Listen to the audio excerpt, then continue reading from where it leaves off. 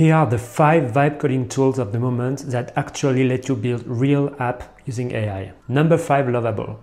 This is the most famous one. It's great, it's flashy, funny, great for beginners, but the hype has cooled down a little bit recently. They have cool features like AI cloud or hosted database, but their AI agent itself isn't that great. That's why they are on position 5. Number 4, Bolt.new. It's also an old player. It was like the second guy who came up after Lovable. It works great. Um, they also released a hosted version of uh, the database and uh, many great stuff recently. It's really developer friendly, a bit more difficult to get started with, but still a great option. Number three, Emergent.sh. It's like a new player. It came out really recently, but it's really fun to use, quite experimental, but it's worth having a look at. Number two, V0 from Vercel. It has a great design. The outputs are great for UI.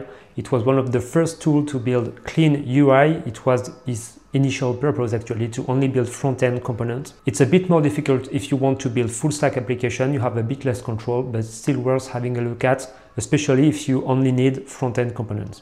And number one, Capacity.so. Capacity.so is not just a vibe coding tool. It's like having a full team of experts working with you. You can literally chat with a UI expert, UX expert, uh, experts in uh, new features or whatever that will help you implement features. And this is really crucial because most of the time people fail at vibe coding because they don't know how to progress, how to build more features, how to improve stuff. And those assistants are here especially for this. So it really makes it the easiest tool to use for vibe coding and to create full stack web applications. So these are my five vibe coding tools of the moment. Let me know which one you use in the comment.